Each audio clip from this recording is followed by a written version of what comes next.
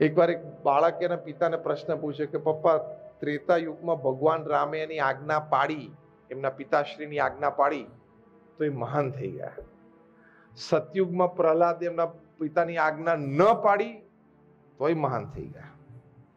ત્રેતા યુગમાં ભગવાન રામે એમના પિતા શ્રી દશરથજીએ જે કીધું એ બધું કર્યું અને મહાન થઈ ગયા.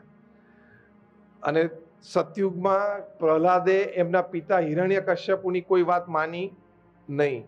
તોય મહાન થઈ ગયા. એટલે કે આ બે વાત સમજી એટલે મને પ્રશ્ન છે કે મારે તમારું માનવાનું કે નહીં માનવાનું? કારણ કે ન માનું તોય મોટો થઈ શકું માનું તોય મોટો થઈ શકું. એટલે પિતાએ કીધું કે બેટા સતયુગની વાત જુદી છે, ત્રેતાયુગની વાત જુદી છે, કળિયુગની વાત જુદી છે. કળિયુગમાં મારે કે તારે જેને પણ મહાન થવું હશે ને આપણે બંને તારી મમ્મીની વાત માનવી પડશે.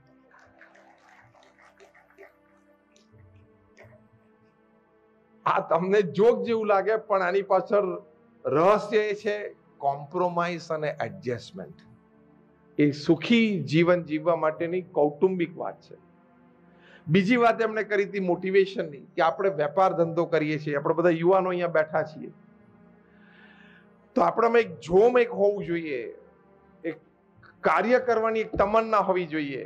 જો આપણા દેશના પ્રધાનમંત્રી શ્રી બોતેર વર્ષની ઉંમરે બાર, ચૌદ ને સોળ કલાક કામ કરી શકતા હોય, પરદેશ યાત્રા ઉપર જાય ત્યારે ચાલીસ કલાકમાં વીસ વીસ, પચીસ પચીસ મિટિંગો કરી શકતા હોય, તો આપણે તો યુવાન અવસ્થામાં છે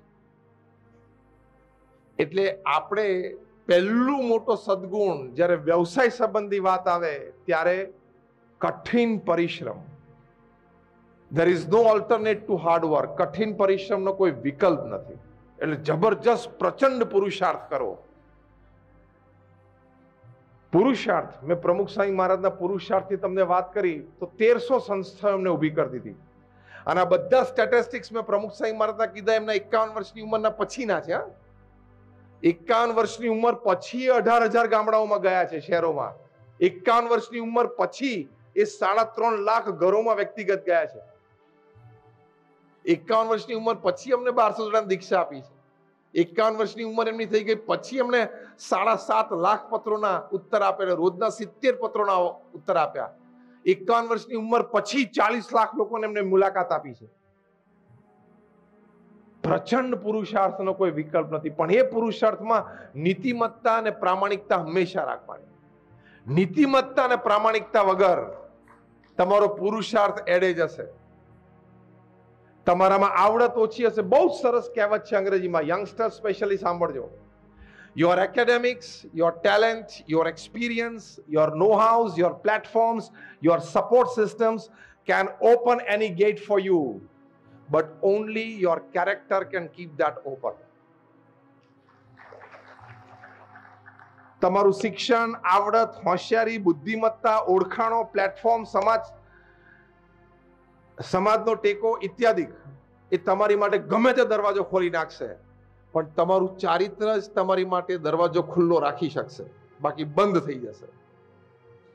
જેણે જેણે ક્રિકેટના બોલ સાથે ચેડા કરે બધાએ ક્રિકેટ છોડવું પડ્યું કે નહીં? કોકે અંડરશાઇન કરવાનો પ્રયત્ન કર્યો, કોઈ ઓવરશાઇન કરવાનો પ્રયત્ન કર્યો, કોકે એક બે ટાંકા તોડવાનો પ્રયત્ન કર્યો, બધાએ ક્રિકેટ છોડવું પડ્યું કે નહીં? યસ ઓર નો જેણે બેંક સાથે ચેડા કર્યા બધાએ ભારત છોડવું પડ્યું કે નહીં? બે ચાર જણા લંડન ભાગી ગયા છે, બે ચાર જણા કેરેબિયનમાં છે, બધાને પાછા લાવવાના છે. ગોઠવાઈ ગયું છે, તિહાર બધાની રાહ જોવે છે. બધા આવશે, અહીંયા મોઢું ખોલશે એટલે એ તકલીફમાં, બીજા બે ચાર મોટા તકલીફમાં આવશે. જેણે ક્રિકેટ સાથે છેડા બોલ સાથે કંઈ પણ પ્રકારના ચેડા કરે, બધાએ ક્રિકેટ છોડવું પડ્યું. બેંક સાથે ચેડા કરે, બધાએ ખોટું લાંબુ ચાલતું નથી. પ્રમુખ સ્વામી મહારાજ, આ વાત બહુ જ ગામઠી ભાષામાં, ગામઠી દ્રષ્ટાંતથી સરસ સમજાવતા. પ્રમુખ સ્વામી મહારાજ કહેતા, તમે કૂવામાં ડૂબકી મારો, અંદર જાઓ નાવા માટે. અને નીચે જઈને તમે સંડાસ કરી આવો ને, તો તમે બહાર આવો ઉપર, એ પહેલા તમારું પોત પ્રકાશી જાય. કે નીચે જઈને શું કર્યું? એમ અંધારામાં પણ તમે ખોટું કર્યું હશે ને, એ આજે નહીં તો કાલે અને કાલે તો પરમ દિવસે આવશે જ બહાર. અને એના કરતા પણ મોટું આપણે ડિગ્નિટીથી જીવવું. મનુષ્યનું એક ગૌરવ છે. જે ધન મારું નથી, એની સામે જોવાનું પણ નહીં. અડવાની વાત તો દૂર ગઈ. જોવાનું પણ નહીં અને થૂકવાનું પણ નહીં. એ તો ગૌરવથી જીવવું જોઈએ ને. Do you believe in this or not એ ગૌરવ સાથે આપણે જીવવાનું કે જે મારું નથી, એનું અડું પણ નહીં. મને ભગવાને જે આપ્યું છે, એમાં મને સંતોષ છે. કોઈના પ્રત્યે ઈર્ષાભાવ રાખવાની જરૂર નથી. એ એનું નસીબ ભોગવે છે, એ એનો પુરુષાર્થ ભોગવે છે, એ એનું પ્રારબ્ધ ભોગવે છે, એ એની ઉપર ભગવાનની કૃપા થઈ એ ભોગવે છે. હું જે ભોગવું છું, સુખ સમૃદ્ધિ, એ મારું નસીબ, મારું પ્રારબ્ધ, મારો પુરુષાર્થ અને મારી ઉપર ભગવાનની કૃપા. એ એ છે, હું હું છું સિમ્પલ આ એટીટ્યુડથી જ જીવવાનું. બાકી તો રોજ ઉઠીને રડવાનો વારો આવે. તમે સારામાં સારા કપડાં પહેરીને જાઓ પછી પાર્ટીમાં જાઓ કોકના સારા કપડાં, આના મારા કરતાં સારા છે. પણ તે આ કપડાં એની સાથે સરખામણી માટે ખરીદ્યા છે કે તને ગમતા તેને ખરીદ્યા છે? Make it clear make it clear તમે જે કપડાં ખરીદીને પહેરો છો, હું દ્રષ્ટાંત આપું છું બધી વાતમાં સમજી લેવાનું. ગાડીમાં કે ઘરમાં કે ફ્લેટમાં બધે.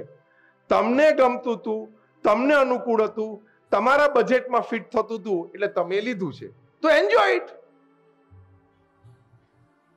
as simple as that તમે કોઈની સાથે સરખામણી માટે કપડાં લીધા હતા? આ અન્ડરસ્ટેન્ડિંગ નથી. એટલે સારામાં સારા કપડાં કે જ્વેલરી કે શૂઝ કે બ્રાન્ડેડ પહેરીને ગયો હોય પણ પોતા કરતા મોંઘી અને ઊંચી બ્રેન્ડ બાજુમાં કોકને જુઓ ને કે આ મારા કરતા વધારે સારા પહેર્યા. એ વિચાર આવે ને, એ માનસિક દુર્બળતા છે. તમે ટુ બીએચકે ના ફ્લેટમાં મુંબઈમાં વર્લીમાં રહેતા હોય એટલે સીધું અંતિલિયા દેખાય તમને. ઓફ પેડાર રોડ કોનું ઘર? મુકેશ અંબાણીનું સત્યાવીસ માળનું મકાન તમને વરલીથી ટુ બીએચકે માંથી સીધું દેખાય.